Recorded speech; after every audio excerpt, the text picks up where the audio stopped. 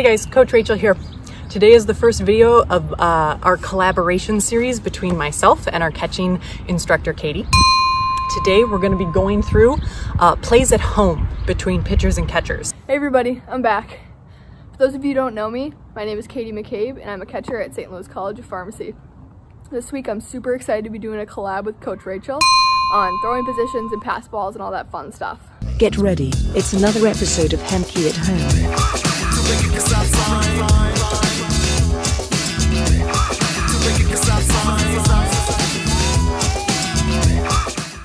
Uh, a lot of times as pitchers, you're going to have one hit hard back to you, uh, and the play is going to be at home. Uh, and we're going to be talking through sort of a slide scenario. So, where the runner at home is not forced to home, but they're choosing to go home, and you need to make a really nice lightning throw to a very specific location so that the catcher can make a great tag and get that person out. Like Coach Rachel said, a quick throw back from the pitcher is super important. It's a great play to make. Now, it's really important as a catcher to make a good tag because if it's not a good tag, then you wasted a good throw. So, the key to a good tag is quick but controlled. You don't want to be super quick and drag out your throw and drag out your tag because you're just going to lose the ball or not make the out.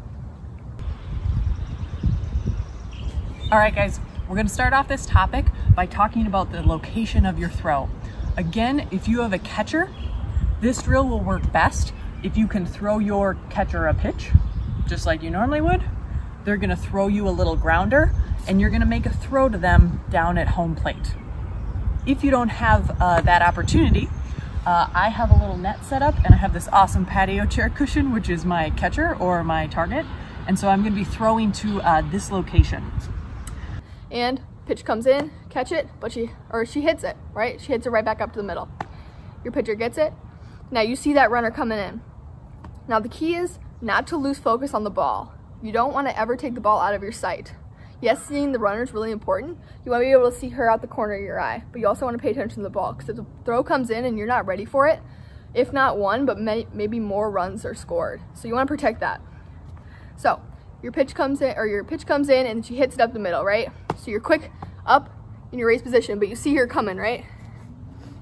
You see she's coming home. So you're gonna step in front of your plate.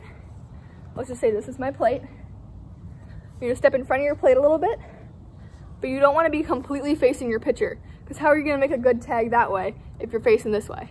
So you wanna be tilted a little bit, still able to catch the ball. You don't wanna be all the way turned around facing the runner. Turned a little bit, still able to make the tag, still able to get a, get a catch.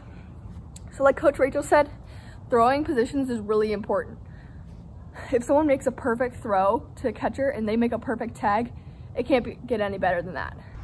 This location I have chosen because it is slightly, if I was the catcher, I'd be back a little more, not right on top of my plate. But as the catcher, I'm gonna have to step out to make uh, the catch or the play at home. And as a catcher, I can't get in the way of the third base line because I'd be obstructing it, uh, obstructing the runner that is. So I need to come out in the front and be nice and low with my target. That way I can go straight for the tag. So pitchers, you need to make sure that your throw is down and low.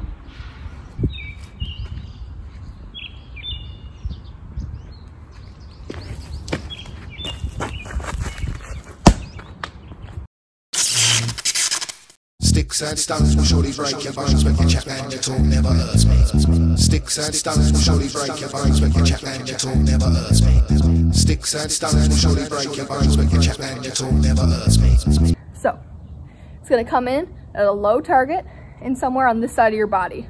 Hopefully not too far. As that pitch is coming in, or as that throw is coming in, you wanna be able to see the ball, but also see the runner, like I've said. Never lose sight of the ball. So, throw is coming in. You catch with two hands. Now the key is don't let that throwing hand run away because you're gonna lose that ball on the tag. Two hands, you have both hands in your glove. And the key is force, right? You wanna make a quick, hard tag. You want that umpire to see you make that tag and there don't want to be a doubt in his mind that the girl is out. So what I like to do is I like to drop my, my left knee, the one closest to the plate. That way you get more force downwards and it's much easier to get from here to there. Pit Ball's coming in, catch, drop that knee and drive that left elbow. Drive it down and quick. You don't wanna make a long sweeping tag because the ball is gonna fly out of your glove. You wanna make a quick tag, boom, and get the ball out of there because you don't want her to hit it because say she's sliding in, right? She could super easily just hit it out of your glove. But if you get it out of there and you have two hands, you're not gonna lose that ball and you're gonna make the play. There may be an instance where you will need to underhand the ball to home plate. Uh, maybe the person took a huge swing and it turned into a, a little dribbler that just came off the plate a little bit and you still need to be hustling your butt to get that thing at home. I'll show you what a flip version of this would look like. Pretend that is my ball.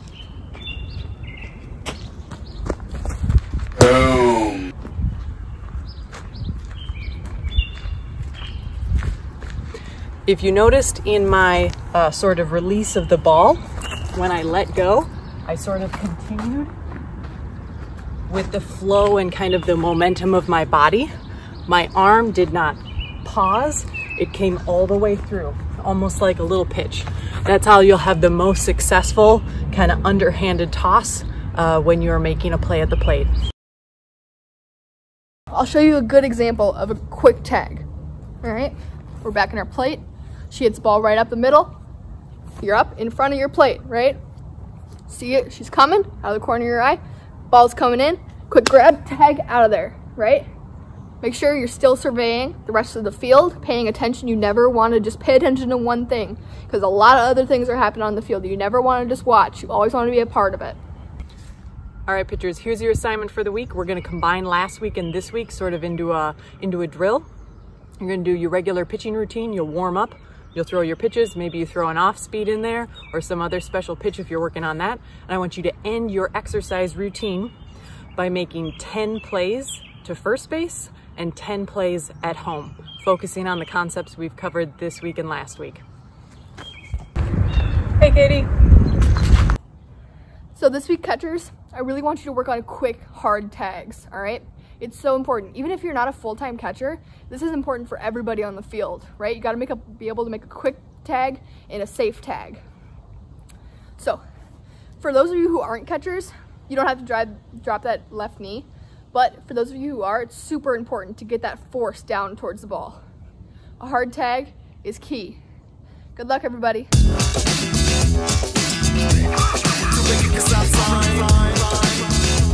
With two hands. Alright? That base is yours. That's my house. That's my house.